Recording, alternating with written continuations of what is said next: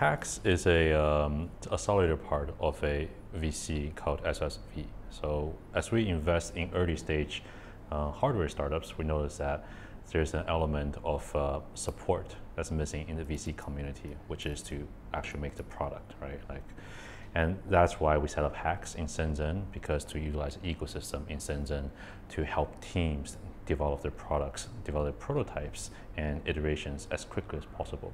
We look for three things. Um, the, um, of course, the technology uh, needs to be there, and the business is a is an expanding business. Uh, does it have enough market for this team to succeed?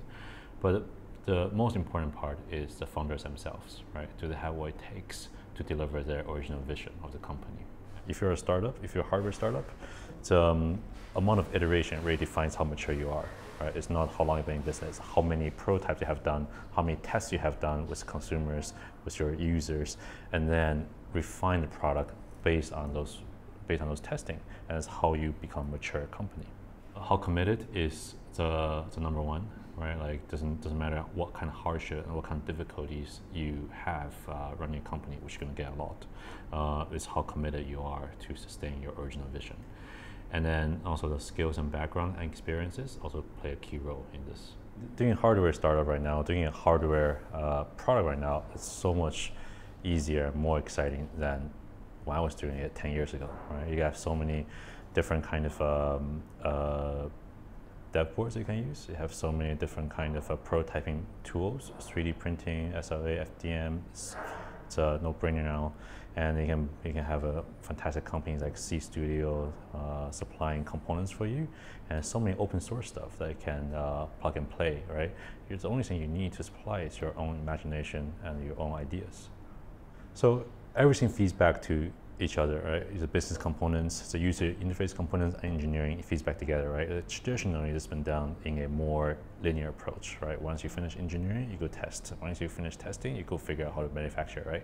But now, with the speed of development, with the with the with the difficulty of uh, putting all of everything together, it needs to go in parallel. So, the moment you have a new idea, test it with your consumer, right? Now, it's a lot. People are a lot more open about getting feedback right? Having good platforms like Kickstarter giving feedback right away as you develop, and as they have factories and CMs to figure out how do you produce this while develop it, it's gonna be uh, it's gonna be it just needs to be run in parallel, right?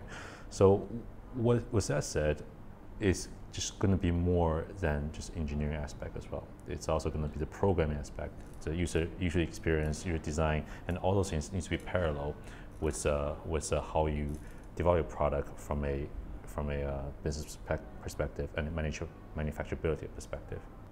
So it's, it's always good to create solutions uh, to a problem rather than create a solution to look for a problem. So understand uh, to um, understand what your customers need, what your customers want by having opening conversation with them, by observe what the, what the challenges are, uh, speak to the end users of challenges they're trying to solve, and create a pro create products that solve those problems.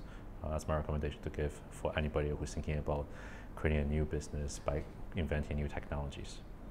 I think people are getting more aware of the of the challenges that us humans faces in in healthcare.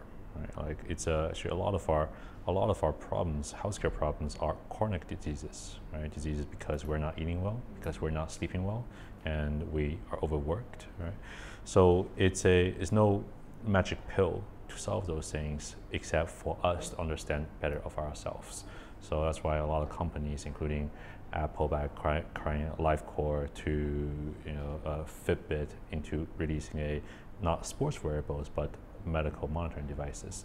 So that's quite exciting by understanding more of our uh, parameters as we move on, as we uh, as we eat, as we rest, and as we work, to have a better understanding of ourselves, and that's create opportunities for startups to create devices that can solve some of the biggest challenges in healthcare, which is chronic diseases.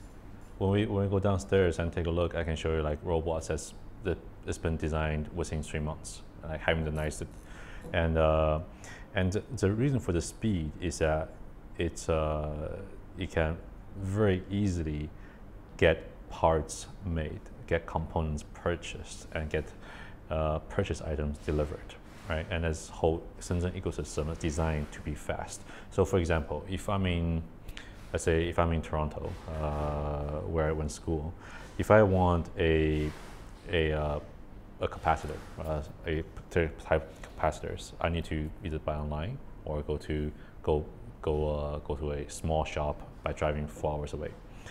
Here, I go downstairs onto the first floor, grab it, come back up, right? If I want a, if I want a, a four-layer PCB made, I upload my Gerber file right now. Tomorrow is time. I will have 50 of them on my desk, and I will pay.